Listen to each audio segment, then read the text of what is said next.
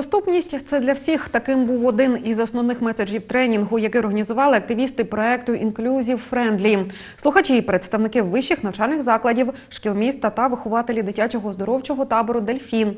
На заході побувала і наша знімальна група. На семінарі тренінгу присутнім нагадали, що в кожної людини є певні обмеження та особливі потреби. Інклюзія це процес, який однаковою мірою необхідний для всіх членів суспільства, а не лише для людей з інвалідністю. Учасники тренінгу, прослухавши теоретичну частину, дізнались, як саме можна їм допомагати, та навіть мали можливість відчути на собі, як це нічого не бачити чи пересуватись на візку.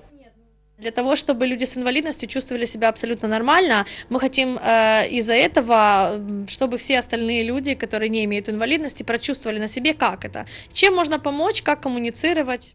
Когда ты понимаешь, что ребенок это есть ребенок, человек это человек, и неважно, с инвалидностью он или без, э, ты автоматически перестанешь их выделять как особенных каких-то людей. Сьогодні в Україні питання інклюзивності зустрічається досить часто. До тренінга з такою актуальною темою долучились і молоді вихователі та педагоги. Сегодня на тренинге присутствуют вожатые детского лагеря «Дельфин», а также учащиеся школы вожатых, которые готовятся к летнему сезону, а также работники народного образования. Э, Ту информацию, которую мы сегодня получили, будет полезна просто каждому гражданину нашей страны. Это очень интересно, познавательно и, как сказали наши ребята, заставляет задуматься. А это самое главное. На тренинге я получил очень много как теоретических, так и практических знаний. А, Это и, соответственно, что такое инклюзивное образование, где его можно а, использовать. И, а, в принципе, инклюзивное образование очень поможет в моей педагогической деятельности.